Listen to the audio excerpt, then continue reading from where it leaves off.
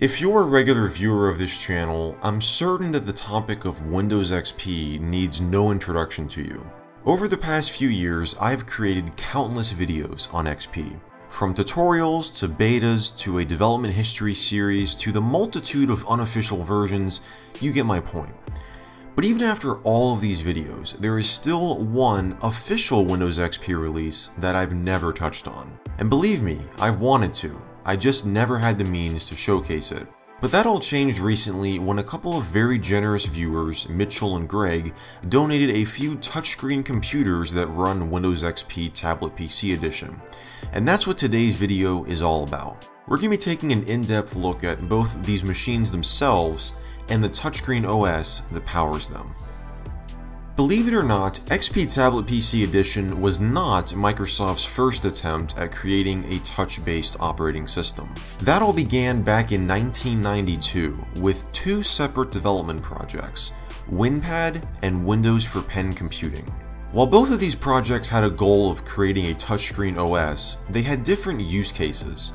WinPad, which I did a history video on here, was intended to be used on a companion device, a PDA if you will. It eventually evolved into Windows CE and later Windows Phone.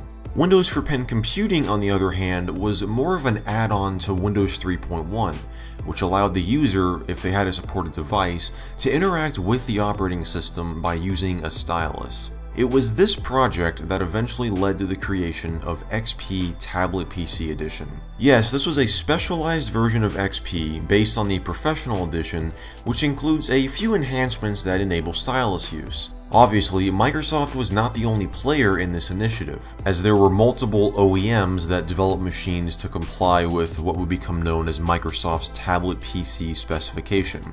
These machines first appeared to consumers in 2003, an interesting tidbit is that unlike most other editions of XP, an end user could not simply purchase this version of the operating system outright. It was only pre-installed on OEM computers and available to software developers and volume licensors. There were also two separate versions of the OS, the original release in late 2002, and an updated version called Tablet PC Edition 2005. The machines that I have here run the latter. Speaking of, let's take a look at them. We'll start with the one that Mitchell sent me, which is a Toshiba Portégé M200.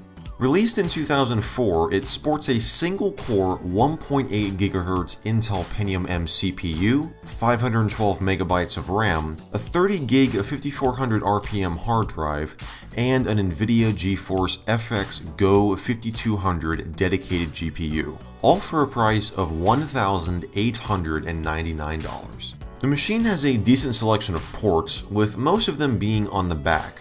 Here you'll find the power port, two USB, a VGA out for hooking up a second display, and a modem and Ethernet port. On the left, we have a PCM-CIA card reader, a Wi-Fi switch, and infrared. The front is where you'll find an SD card reader, mic and headphone jacks, and a volume wheel to adjust your headphone's volume. The primary stylus is located on the right side of the machine, but there's also a smaller secondary stylus located in the battery compartment, just in case. One piece of hardware that you won't find is a CD drive. This was a major cut from this machine, but I assume it was done to save space. Still, this machine came out in 2004, a time when CDs and DVDs were still used rather frequently. But keep in mind that this machine was designed as a hybrid, combining both laptop and tablet functionality. If you wanted a more powerful computer with a DVD drive, you could just go out and purchase a regular laptop. The killer app of this machine, if you will, has to be the rotating touchscreen. This allows the user to easily switch from the keyboard and trackpad to the stylus and the touchscreen. When in laptop mode, the machine behaves just as you would expect any laptop to, but you will notice a couple of minor differences. For one, there is no power button located anywhere on the keyboard surface. It has been moved to the actual display so that you can power on the machine in both laptop and tablet mode. To switch the machine into tablet mode, all you have to do is swivel the display panel 180 degrees to the left. From here you can set the display up on a sort of stand or close it down to be flush with the base by rotating the display lock. When you do this, the machine will automatically switch into portrait mode. There's not an accelerometer, so you can't rotate the display's orientation by simply turning it. But this is only one of the form factors that was used on XP tablet PCs. The three machines that Greg sent me showcase another form factor. These motion computing M1400 machines feature only a touchscreen display. However, motion computing did offer a detachable keyboard that could be used if desired. Greg also included a stand so that the machine can be propped up and used at an angle. This model here sports a 1.1 GHz Intel Pentium M processor with integrated graphics, 1GB of RAM, and a 40GB hard drive. Most of the I.O. on this machine are located on the bottom. From left to right, we have a modem port, an Ethernet port, VGA out, a docking station port to connect the keyboard accessory, two USB, one FireWire, and both a mic and headphone jack. On the right side, you'll find the power port, power switch, and a PCM-CIA card slot. Looking at this machine from the top down, you'll see a couple of things around the touchscreen. On the top left, we have a fingerprint reader, which could be used to securely log into the machine. And on the right side, we have five buttons that are assigned to open various applications and perform system functions. That center button acts like a set of arrow keys. On the top right is where you'll find the indicator lights and the stylus. Now since this machine does not have a built-in keyboard, the BIOS is actually accessed by using the touchscreen. If you touch the screen while the tablet is booting up, you'll get a list of options, one of which will allow you to enter the BIOS, which you can then use the stylus to navigate around in. Pretty cool. Greg told me that these machines cost around $1,400 each back when he purchased them new.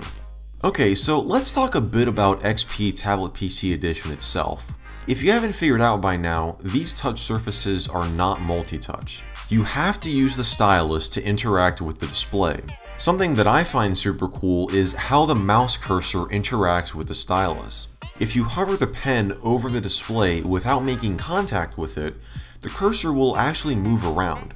Making contact with the display is the equivalent of clicking your mouse. It's actually quite simple to use with regular applications, but XP Tablet PC Edition comes with a few exclusive programs designed specifically for the stylus. First up is Windows Journal, which is, well, a journal. You can use it to write things using the stylus. Super simple stuff, but it works very well. Also, the fact that this display is not multi-touch is actually a huge advantage, because it means that you can rest your hand on the display when writing and not have to worry about any unwanted clicks. There's also Sticky Notes, which is basically a slimmed down version of the journal with the added ability to record audio notes. Microsoft also bundled a game that can be played with the stylus called Inkball. The goal is to get the orbs into their respective holes by drawing lines with the stylus. A newer version of this game was bundled with Windows Vista, but it was removed from Windows entirely after that.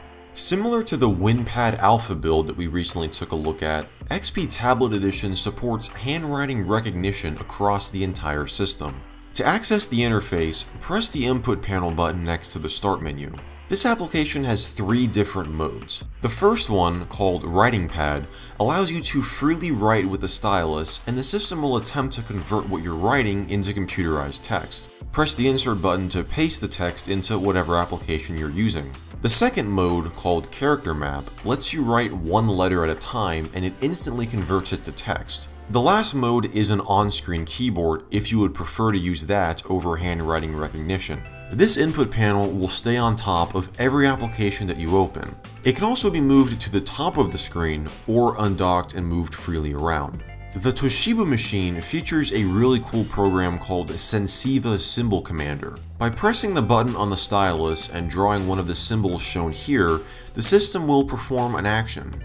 This can be done from anywhere on the system with any application open, just as long as the Symbol Commander is running in the background. For example, if I press and hold the button and draw a triangle, Symbol Commander will open up and display my shortcuts. I can do things like save documents, minimize windows, and even rotate the display orientation.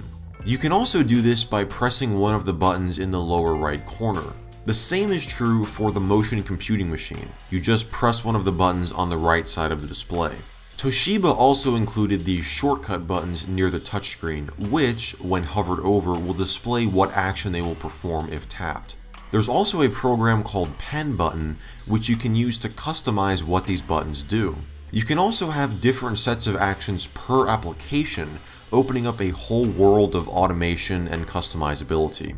Overall, I have to say that I'm very impressed with both of these machines and the OS itself. Having never used an XP tablet before, it was really cool to explore this specialized operating system for the first time. It's almost like a time capsule, a testament to what tablet computing was like over 15 years ago. That's all for today's video. I want to give a huge thank you to both Mitchell and Greg for the generous donations that made this video possible, and to all of you guys for watching. If you enjoyed this one, be sure to give it a like and get subscribed. And as always, I will see you in the next video.